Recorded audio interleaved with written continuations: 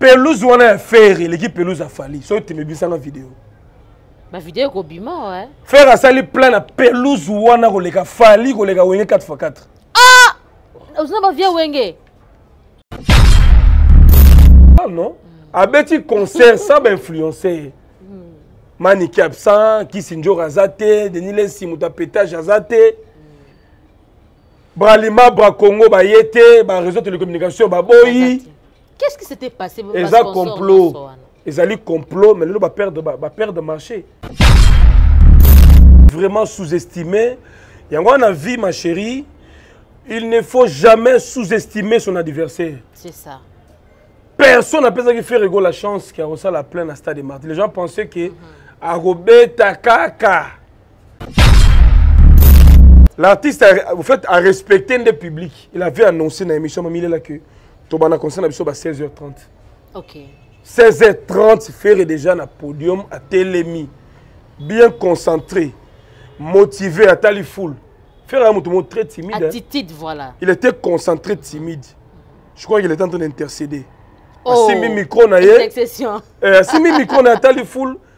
atali ba ben, instrumentaliste atali public mm -hmm. atali collaborateur, il était serein très bien très serein asimbi micro na ye et après asali deux trois pas na e nzambe yo moko oyebi omoni soki babrasicole wana bayaki na batelecom wana bayaki mm. mais bato bayango bakufa na stade ya solo oui parce que bango basala baconta makila so ba apporter soutien na bango mpa na yo fo bazwa makila na suka ah! mais moi je fais des émissions avec des serviteurs de dieu nazo expliquer yo ah. soki bato wana ba o oh, décourage makila soki bato wana bayaki babrassicole wana bayaki na babanke wana basinaye contrat na fere fere apesa bango makila bango bapesi ye soutien ekendaka bongo yango amoni fere abeti concert zero mort zero blessé zero, zero vol zero oyo oh, oh, banlevaki ba, bato oyoki enlèvement ka enlèvement yoki yoki la police azali communiqué ka enlèvement e baconseil ya précédent banleva bato bato babunga bato bakufa eza veille mpe par rapport ya disposition nde batiaka na stade mais ezalaki nango te fleuve congo tel to grand hôtel les gens étaient debout quelque chose ezalaki devant ce n'est que normal heure ya débordement heure eyindaka bato bakotaka na basense nyonso ce n'est que normal qu'est ce que tu te dis lelo baobenga concert ya ferregola concert doni na nsima ezalaki c'est simplement des jaloux les gens sous-estimaient ferregola c'est-à-dire les gens pensaient que ferre osala eloko moko obekaka mai otoka bongo bongo je vous dis que ferre asali plus de 150 000 personnes parce que soki otali se wana ya ferry mm. eleki se ya fali ah, mais oui natamoni video moko ya fali ya kala baki ke génération na biso mpe mm. tokoretourne bastade asali yango c'était comme un devoir à domicile mm -hmm. ntango ferre alongoli yango esili malere nde na bato mosusu batikali babongama ekosimba te babetaka stade na loyenge te mama aza na 4 ans de carrière fo azwa ta na ye oh. oh. so botindi botinda biso toya na bacamera prom te botindaki babetaka stade na basentiment te ke ya ebeti ngai nabeta fo oza na musique oza na temps oza na bafani eloko esalaka wata yini bavie bakosaki ye baosoutenir ye asilaki okosaki ah. omonaka via yaka via yaka te Shalom, shalom à vous les enfants de Dieu. Na pesi bino mbote na kombo na Yesu. C'est bien moi votre frère, le pasteur Israël Nash. Je vous salue au nom de Jésus. Je suis précisément à Kinshasa. Naza responsable ya Ophelina. Jésus est mon papa. Na ye liboso na bino pona représenter bino bana oyo bozomona na bilili pe ba difficulté toza nango.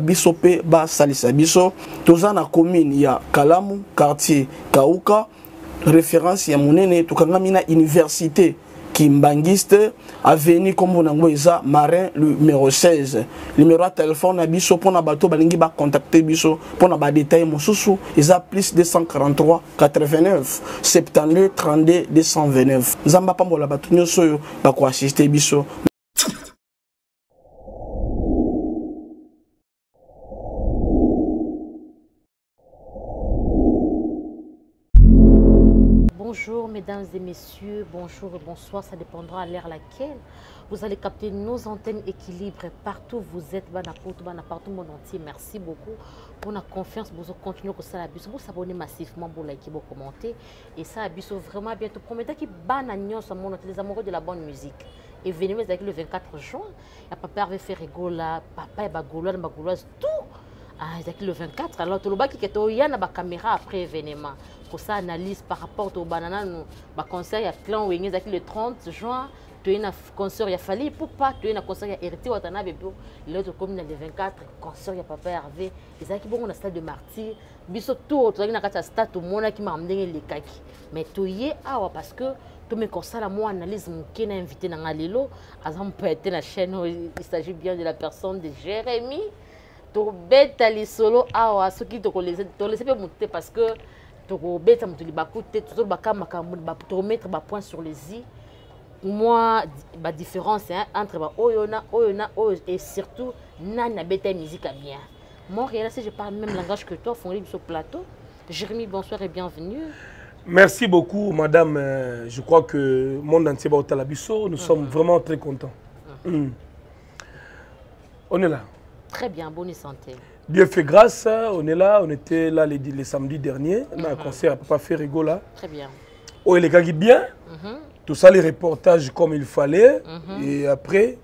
l'heure eza maintenant kosala bilan mhm. et puis kopesa point de vue chacun de nous amonaki na misu mhm.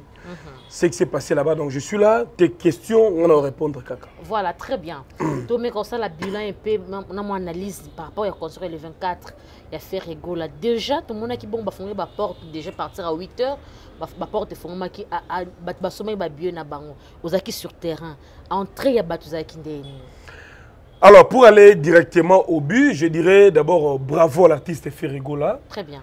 Beaucoup de félicitations. Vous savez, au départ, Lorsque a annoncé la date du 24 juin, mhm. et qui à Stade de Martyrs, beaucoup le sous estimé Il était vraiment sous-estimé. Et en a ma chérie, il ne faut jamais sous-estimer son adversaire. C'est ça. personne apesaki ferrego la chance ke akosala plein na stade de marti les gens pensaient ke akobeta kaka akobeta kaka bongo bongo bato bakoya or l'homme savait de quoi il était capable Très bien. il s'est bien préparé mm -hmm. tomoni motivation ya bagaulois et gauloise mm -hmm.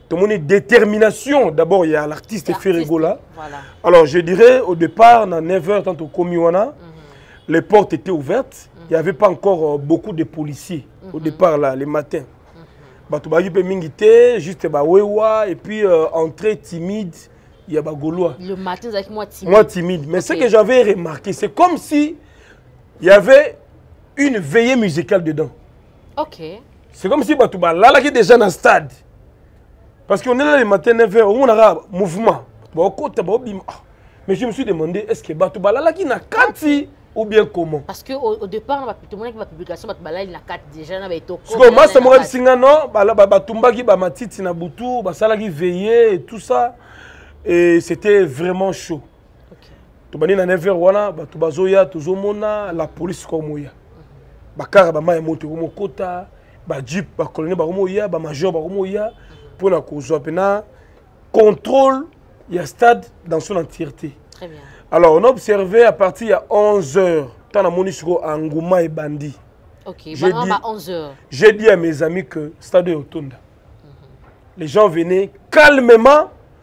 sûrement tranquillement sans forcing okay. et puis ce que j'ai aimé tous les gaulois venaient déjà na bine na loboko billet billet billet billet babillet bakabaki te sur fil indien non non na, na je l'ai dit ici tantôt avant yo yambanga na émission na émission précédente Très bien. que j'avais beaucoup loué l'esprit ya équipe ya ferigola okay. basalaka marketing ya proximité mm -hmm. donc motu to azali na bina ndako na bango mm -hmm. déjà paya bien na quartier na bango na commune na bango aye na yango kaka jour j okay.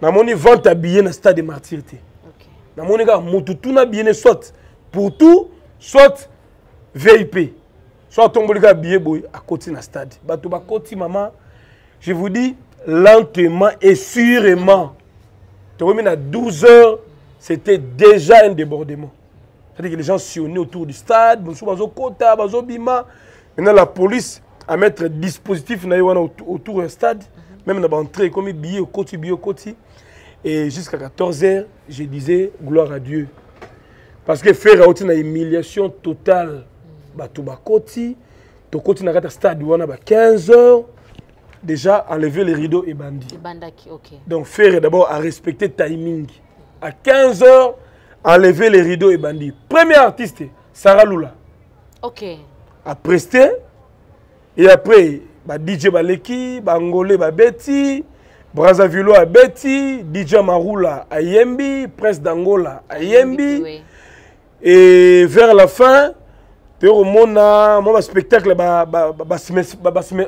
barappe basmerfer basmerfer babinaka binaka baye basali mwa spectacle na bango et après bacomédien basali oyo papa amisi ah, lider amisi na tantine linda baye baagrimenter mpe journée et après bamettre fin Ferre Gola à Paris.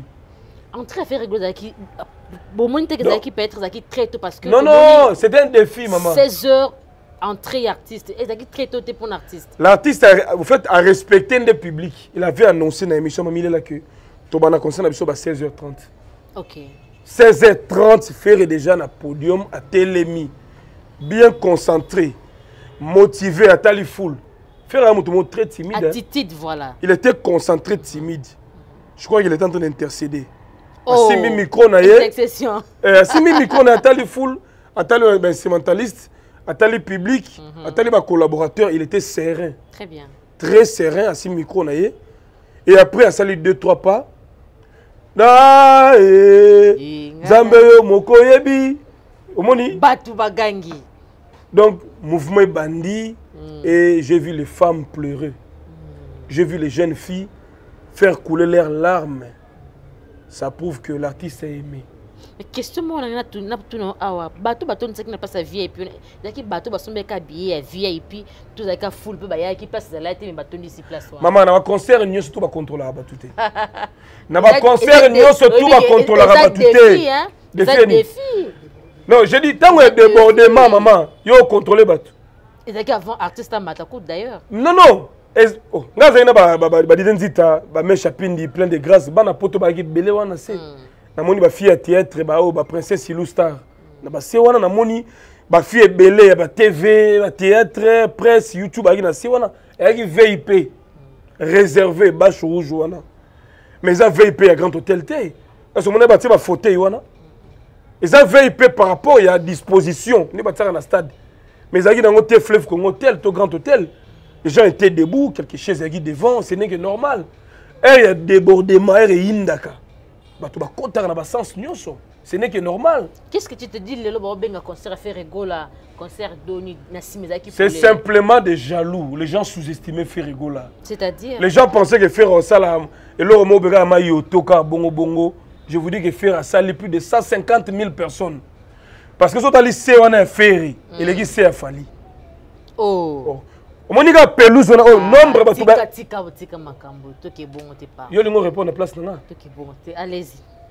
biso olingi orépondre place na nga natiki orépondre je vous dis na, na mettre mutu tout à défi ozomeka plein ya fali na plein ya ferre gola le 24 tu m'as pas compris okay, laisse moi m'exprimer vas-y pelouse wana ya ferre eleki pelouse ya fali soki temebisanga video bavideo ekobima ouais. ferre asali plein na pelouse wana koleka fali koleka wenge 4 x 4 ah! ozina bavie wenge tokende kuna te pardon tokende kuna te pardon kuna te concert ya ferre ezali total réussite meme nga mona kamoni ya soloko meme nga mona okamwa ti sikoyo hmm. bato bakoti bafandi donc moto mpena ye mpena afandi asiége oyebi ntango ferre akoti natali mpena likolo pour tout boy oh. bato bafandi mpena baotala na bango mpena spectacle moto mpena ye moni bato atala match mhm. oze pena premier mi-temps mi-temps deuxième mi-temps na suka match obimi okei mhm. donc les gens étaient vraiment concentrés bapemi baota pena spectacle okay. papa soki mama il faut apprécier l'homme à son époque à son époque il faut apprécier l'homme à son époque moto abeti concert sans sponsor sans denis lesi sa ba influenceur o oh, manike o oh, kisi njora ba manike bakende ya braza te pa roga roga mais je, je parle non mm. abeti concert sa ba influenceur mm. manike absent kisi njora aza te denis lesi moto apetage aza te mm. bralima bra congo baye te bareseau télécommunication baboyi qu'est-ce qui s'était passé eza complot ezali complot mais lelo baperdre baperdre marché esali s'il avait des bâches des banderoles partout ba brassicole ba télécommunication ba banque enge sa fierté na bango asositaki bango bango mama kozonga na nsima te otaki d'ailleurs pour de presse affaire il a déjà il a tout dit te yo pepesa ce point de vue na yo par rapport na l'artiste avait déjà dit qu'il avait sollicité ba coma ba bloc blocage il était négligé il était humilié qui était derrière tout ça mais une main noire okay. eza monde ya musique ya monde ya 12 monde ya nko epuis eza monde moko boye ya spiritualité très bien il y a aussi un homme de l'équipe m'a dit que soki bato wana bayaki babrassicole wana bayaki zela moi je parle ah, oh, soki babrassicole hein. wana bayaki na batelecom wana bayaki hmm. mais bato bayango bakufa na stade ya solo oui parce que bango basala baconta makila ah! so baapporte soutien na bango mpa na yo fo bazwa makila na suka mais moi je fais des émissions avec des serviteurs de dieu nazo expliquer yo ah. soki bato wana ba o oh, décourage makila soki bato wana bayaki babrasicole wana bayaki na babanke wana basine contrat na feri feri apesa bango makila bango apesi ye soutien ekendaka bongo yo amoni feri abeti concert zéro mort zéro blessé zéro, zéro vol zéro oyo oh, oh, banlevaki bato oyoki enlèvement ka enlèvement yoki yoki la police azali communiqué ka enlèvement me baconseil ya précédent baleva bato bato babunga bato bakufa eza makambo ya molili fere aboyaki nde kosakrifie bana bato aya kobeta miziki na ye mhm. il comptait sur dieu na bagolois c'est tout okay. moni qui dit la bible la bible dit la nature elle-même ne vous enseigne pas faut nature ete ya biso tala bafait tala réalité mhm. otali fait otali réalité soki fere akotaya bacontra buzoba wana ya butu mais bato bakufi mais yaoto beta masuwa matanga 4 mort 7 mort 8 mort ekomi mama la police ezo omoni fere bakangi bainterpele fere mm. toutes ces prophéties ya lokuta bato bakokufa boya te lokuta faire ete concentré ayaki na énergie ne positive oyo alibéré faire aforce concert te concert moko simple comme bonjour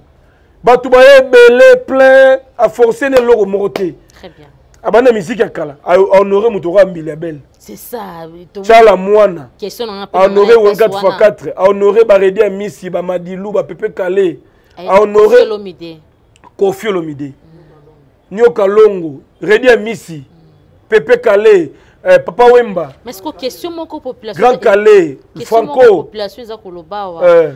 Eh, ndenge ainterpretaki banzembo ya kala wana mais pourquoi pas il avait porté le choix ya koyema nzembo ya weranson ye moko nzembo ya jube ye moko asalaki pourquoi kaka nzembo ya wenge 4 x 4 yango temps ezali moke hmm. temps ezali moke ayembaka wera ayemba jube temps asangisi bango bloc ayembi ayembi wenge 4 fois 4 mm. et puis interpréter na na niveau na biso Marie Paul mm.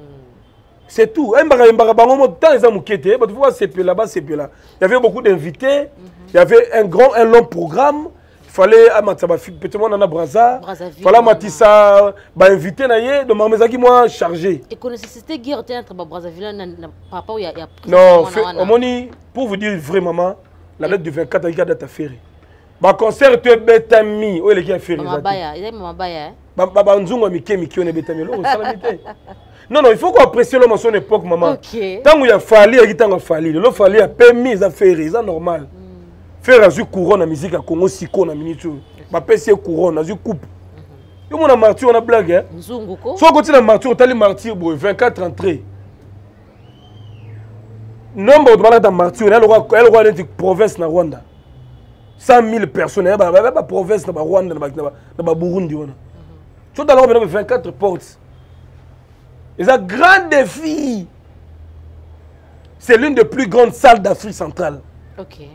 kobeta martyr c'est historique eloko faire asali donc à rejoindre wera na jb lelo faire aza troisième na baplein soki wera jb faire egola troisième na baplein epuis otikali babapota na kuna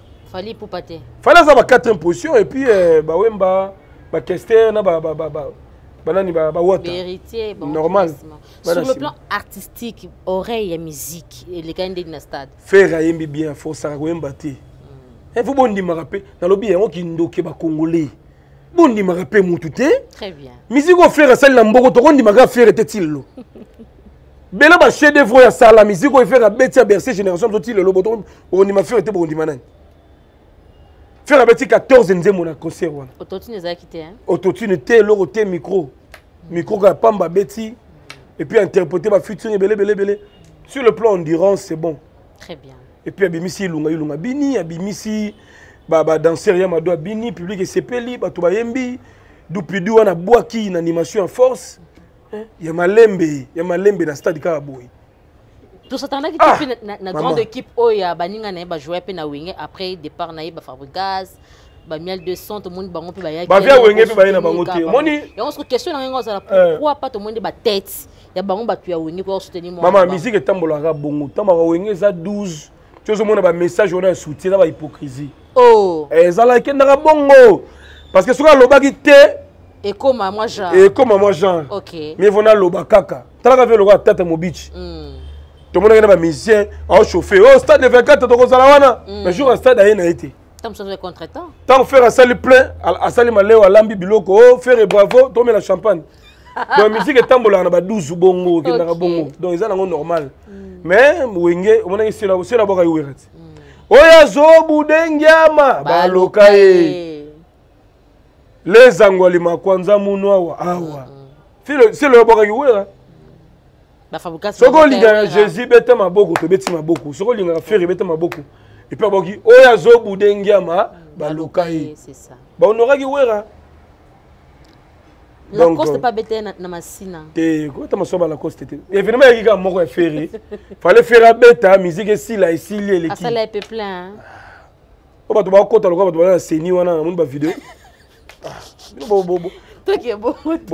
question na ngai eza lacoste mpe sikomonike lacoste apres akomi olela oyo bavia wenge baye te tata vie na ngai ya yolo tata yaba yeke evenema ezaka moko le 24 akoki kose departage te aya koto aya koto oyo apesaki bavia wenge trouble na mpasi hmm. baya pa fere to baya pa na ye cela veut dire quoi na vie kozalaka pressé te soki eza temps ya moninga tika moninga eh aevoluemais eske azongi lasanga baimage ya concert ya lacoste eza zo na deux chaîne eske azongi fo opesaka te omoni soki eza temps ya moni jour fala abetaka selo ya ngai ya selo yo selo selo oyo babi bon mpo na trouble te omonaka ye na communauté ah. bino bolingi kosous-estime bato mingi omonaka selo na commune mpaka kadima te yaka mpe nabeta ndule trafic kaka koko influence azui pe ba musicien pe bazui ba musicien azui mouvement accompagnement beta mais après ba bayini nono pona kaka honneur et tout et tout apema pe ça c'est l'autre fala beta tranquille mais ferry tala bitumba mais est ce que eza te po artiste ata mosusu artiste asolola bien te na bavie neka te ana pama motu te mama hmm. sans sponsoring sans quoi sans bainfluenceur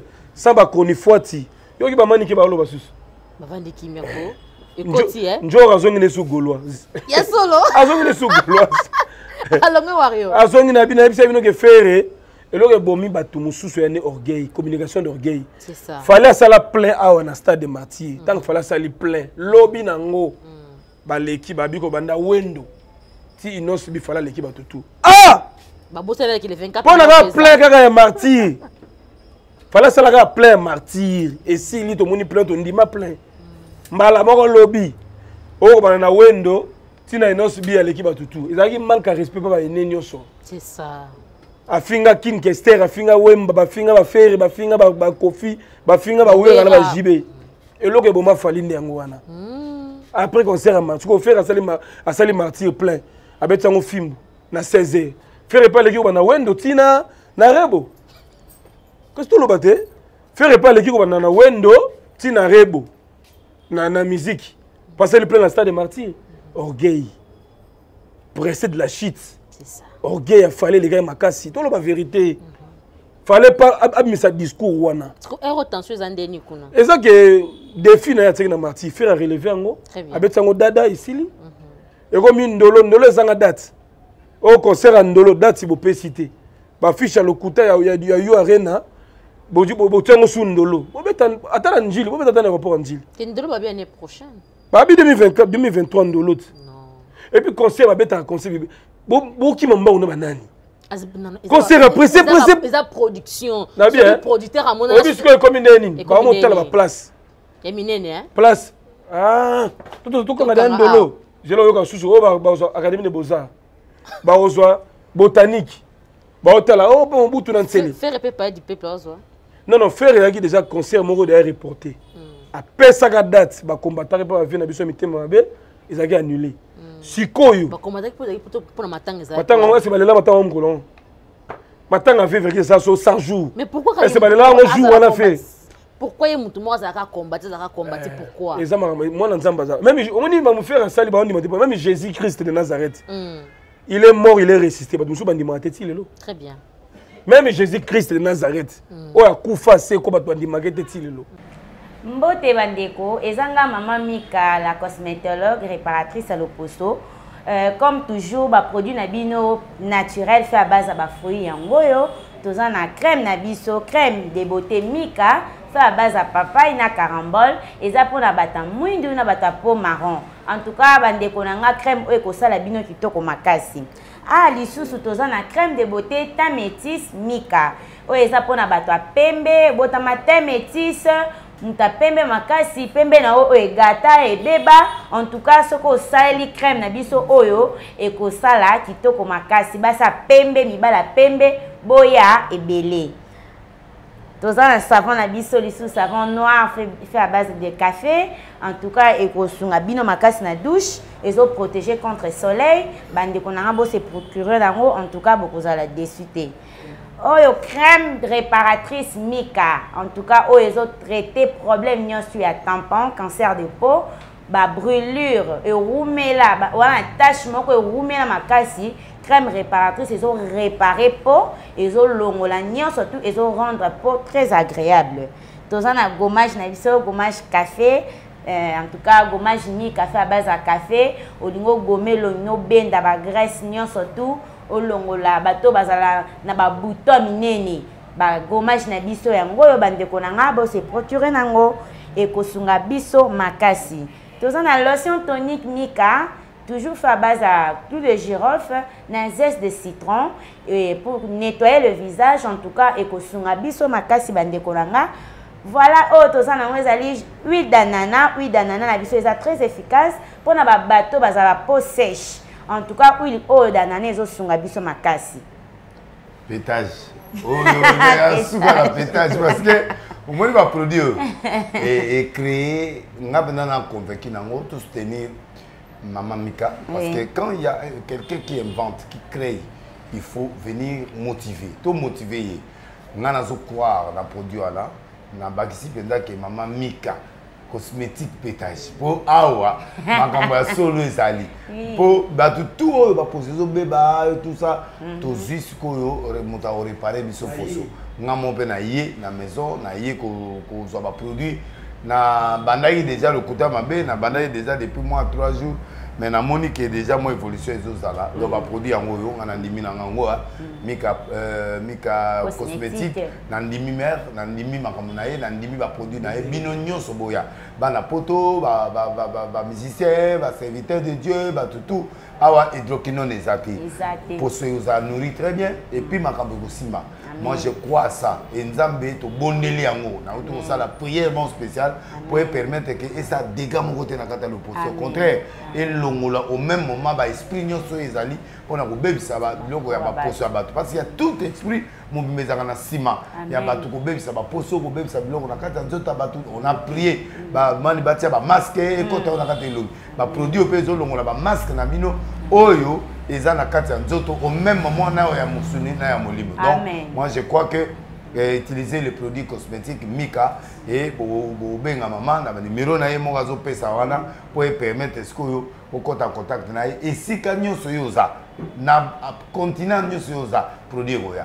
amen e, lokola produit ekoya numero yango wana merci le plus 243 89 98 27 674 adresse na biso toza na komi na kalamu toza na quartier matonge avenue pozo numero a17 référence cabine à courant merci merci ezi de nuance mpe ndenge moko abeti martyr dada plus ou moins 200 000 personnes baye na stade acontourne stade baondima te o nsima yo osomba biye ota conseil na nsima yo nde ozana yo osomba biye fayani fali kutu vidi kutanga mati vidi kutu bato babima bino bolongolo ba vérité te mpo ani fala asala plein na ye na moi ntango ye azomata bato baobima ngai aza na stade yo oza na stade plein na ye bato batonda wi mais eza teke plein yango ntina toilette plein yango efale asala nini bino boza plein plein plein yango ya ndenge nasalaka plein dépendaka na bajour na batemps na baheure fala mataka na presque 19 heures faire amati ba 16 heures 30 eza ndenge moko te jour efalaki le 29 octobre ferre abeti le 24 juin eza ndenge moko te mm. soki bozokokanisa yango ndenge nini en essence te plein ya fali ya fali plein ya ferre ya ferre esili point bar yo na kindoki no o ferre asali bon ferre asali mpiaka kasi koma te koma ke ferre asali mpiaka eza kindoki eza kindoki e normal te il faut soutenir motu na temps aza na énergie ferre abeti concert oyo bato bandimaki te abeti agagné esili azwi couronne le roi ya musique se ferre c'est tout soki obosani mokili na yo c'est fini ngai alimoni nga ngai azalaka derrière bafaible moto aza delese ngai nasutenaka ye orgueil na bino nde esalaki bino tosundola bino siko mpo orgueil eleki trop fala abeta stade oyo aleki wendo na bon sikoyo fere pa aleki kobanda wendo ntina na rebo kasi fere pa aleki kobanda wendo ntina rebo esili mpo defi elaki ya nzungu etona sikoyo nzungu etondi tosuka siko wapi omoni ke koloba trop eza mabe mhm. fo kopesaka temps na temps fo kozala patient na vie très bien fo kopesa temps na temps mhm. c'est très important mhm. donc eza fete ya musique ya congo fallait asalaka plein faire à salle plein et c'est la musique qui gagne okay. c'est le Congo qui gagne surtout des générations wana vraiment mais oui na dans mon vidéo moi fallait à Kalabari que génération na bisopé mm. to retourner ba stade c'est ça à salle yango c'était comme un devoir à domicile mm -hmm. tant faire alongoli yango esili bon. malere nde na bato mosusu batikali babongama erosimba te babetaka stade na loyenge te mama aza na 4 ans de carrière fo azwa temps na ye oh. oh. so botindi botindaki biso toya na bacaméra promte botindaki babetaka stade na basentiment te ke ya ebeti ngai nabeta fo oza na musique oza na temps oza na bafani eloko esalaka wata yini bavie bakosaki ye bakosoutenir ye moasilaki ekosa te emonaka vie ayaka vie ayaka te fere akonte na bavie te bato balobaki non fere ayaki soutenir non koyebisa motu ke fere bonne chance courage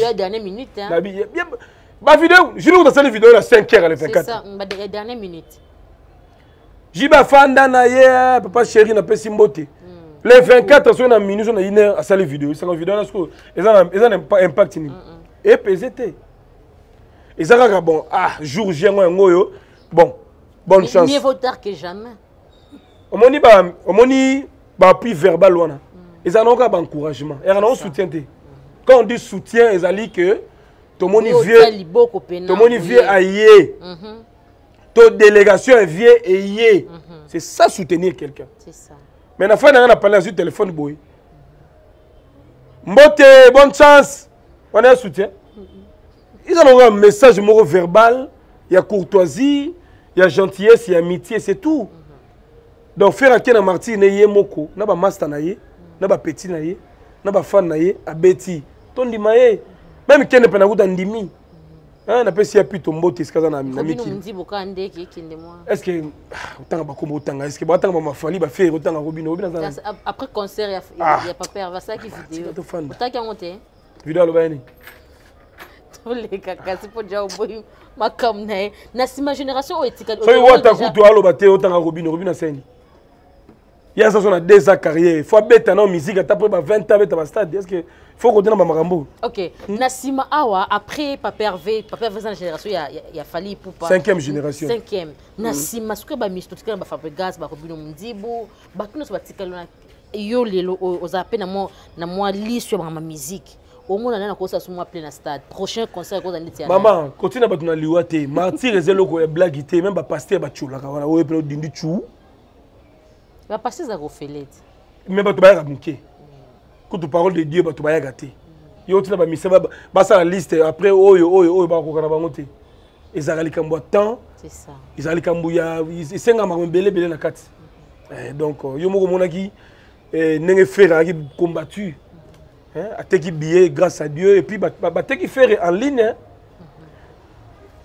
bato batalaki ferre en direct en ligne bafuti ba 5 dollars ferre a gagné plus de 100 000 et quelques dollars américains na, vi, na visionnage en ligne du jamais vu mm -hmm.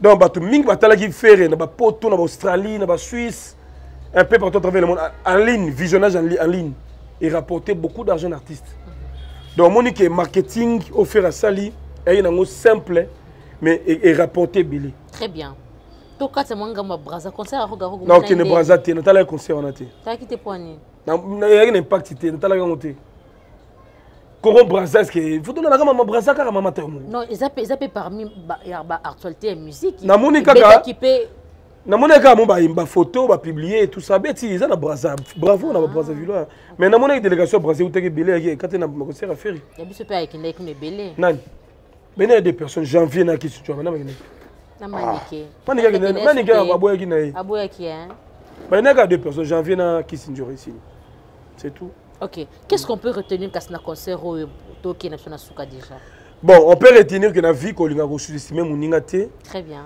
l'humilité précède la gloire mm -hmm. fait rigola bravo mm -hmm.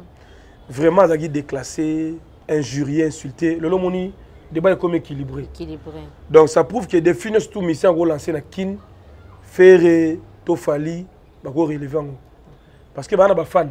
Très bien. Bana ba fan na bango. Et musique ezongi elengi. Mm. Bato ba oleka ba polémique buzoba na sima na sima. Bato ba na sima, ngana ki na stade, na ki na VIP wana. Bato ba na sima ebele. na ntango miziki ekomi elengi balongi na nsima ye na bango na se mpo bamona artiste motu moko takopeye biye na ye mpo amonaka likosi ya fere banda nayeke amonaka kaka fere nsima nsima nsima akota nsima fere non fo amona mpe artiste bato bakoma ocontourne baye bafani na bango na peluse batala mpe fere oyo afutelaki biye seneke logique prophète de nation denis lesi etikaki motema mabe oh. mais oui aza mutu na ngai mais mama azoloba nde na sens te te fo atika atika discours wana haine faire asali plein plus que fali tondi tomoni yango biso moko po concert ya 16 heures ezaka eza blague te eh, yes bon omoni déjà prophète denesi 1 na stade ayaki te hmm. dede a pasteur warrior hmm. discours ne fozalaka penche vers fali ce n'est que normal, normal.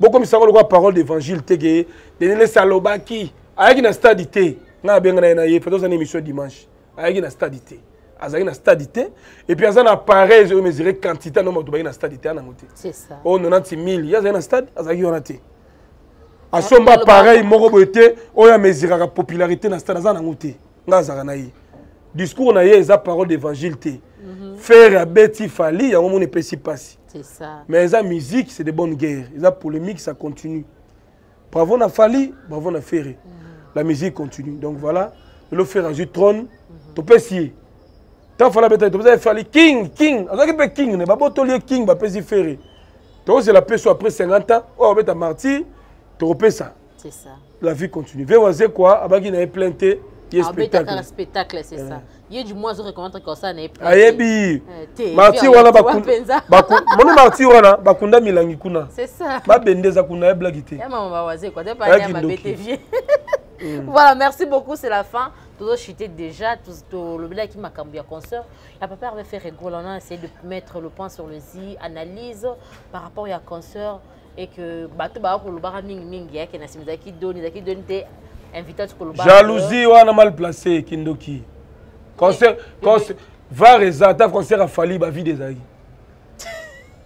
fali asala plein boyesanga ntina bacaméra plein plein ntina badouche batoilette na marcoir ezalaki plein non plein ezalaka plein dependaka na aire na temps plein so babi plein eza plein c'est tout soki otali mpe concert ya fatanga mataya na moane monikel vide ntango azoyemba banzembo ebele vide bato babima eza nango bongo plein ezalaka plein oyo tomoni topese yango wana plein esili fere asali plein partout se kutu koloba te likolo koloba te libanda partout détournement adetourne liwa eza te toleli bato te bato bakufi te accident eza te merci beaucoup détournement moyibi te adetourne bango nde moto